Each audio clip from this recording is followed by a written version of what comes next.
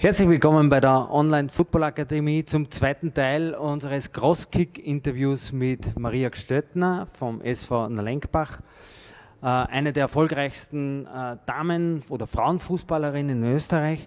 Im zweiten Teil wollen wir uns mit, mit Themen beschäftigen, die uns äh, im Fußball interessieren. Und da wollen wir ein bisschen einen Vergleich machen zwischen Männerfußball, Frauenfußball. Und ja, deine Erfahrung wollen wir da auf alle Fälle äh, kennenlernen.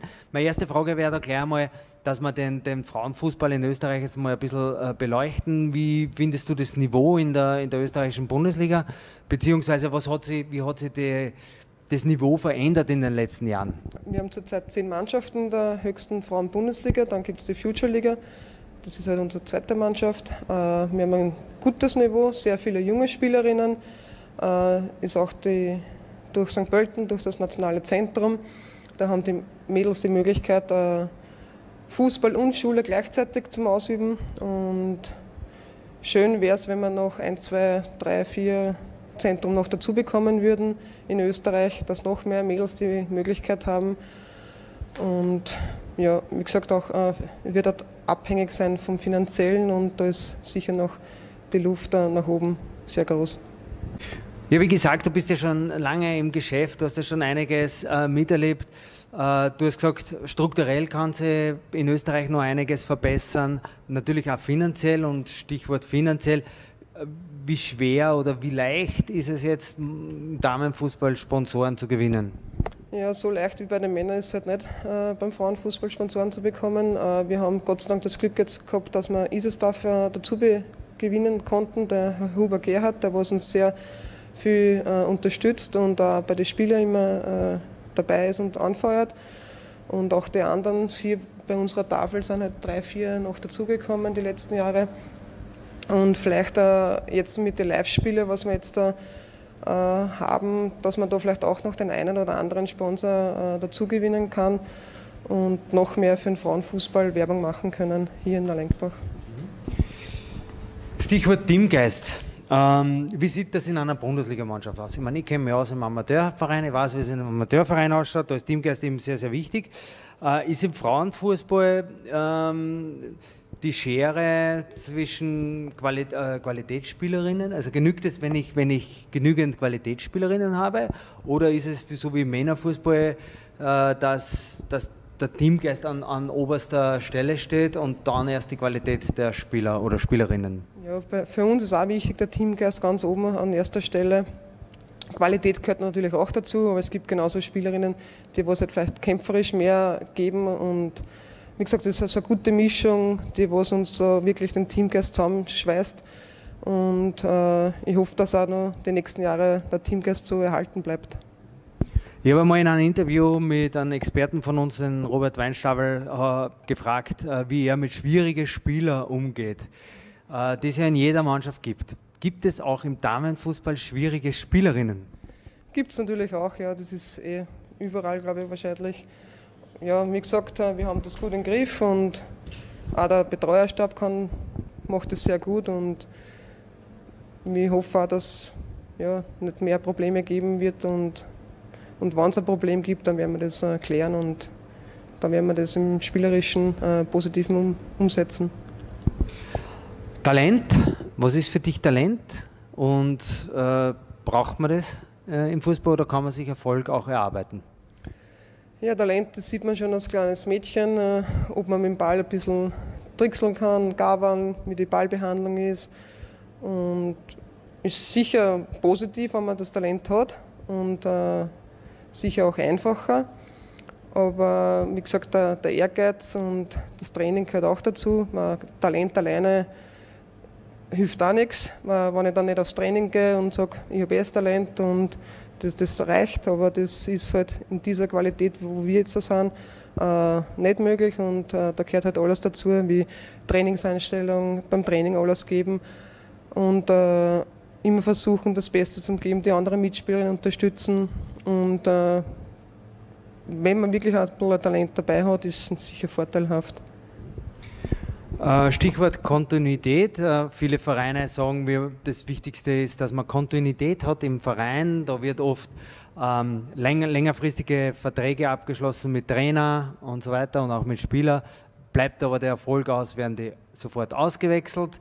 Beziehungsweise heutzutage ist es ja schon so, dass die Trainer im Erfolgsfall ausgewechselt werden. Ähm, Im Damenfußball oder im Frauenfußball sieht man das nicht so häufig, diese Trainerwechsel, oder kriegt man es medial vielleicht nicht so mit. Äh, aber da ist mehr Kontinuität da. Ist das richtig? Da gebe ich dir recht, ja. Wir sind sicher nicht so der, was gleich alle zwei, ein, zwei Jahre die Trainer wechselt. Äh, es ist auch nicht so einfach bei uns. Äh, es gibt äh, bei uns, haben wir momentan einen, einen Herrentrainer, der was das sehr gut macht, der Mario Graf, er ist jetzt äh, die dritte Sohn jetzt bei uns.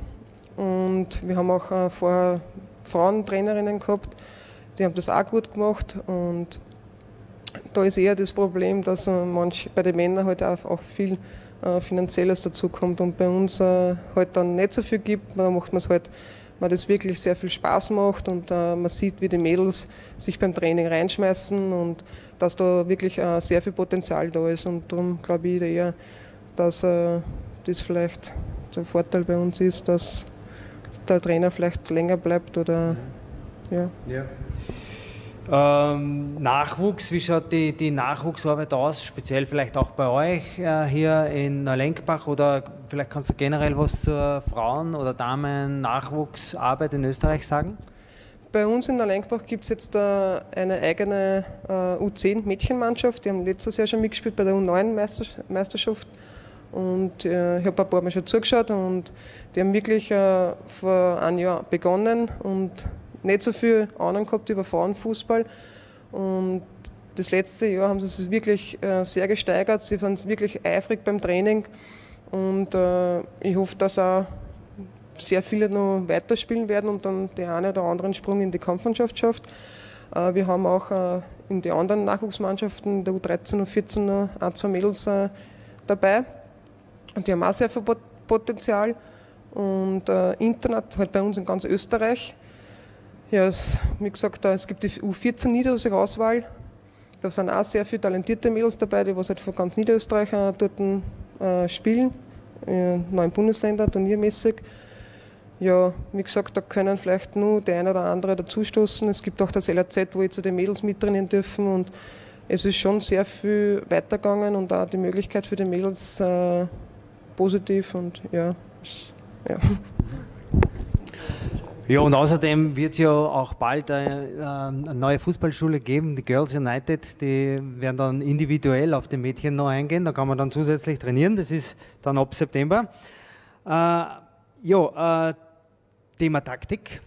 Äh, wie wichtig ist Taktik äh, bei euch in der Arbeit am Platz? Äh, du arbeitest ja auch ein bisschen im Trainerteam mit. Wie vermittelt ihr eurer Mannschaft die Taktik? Wie schaut es bei euch aus?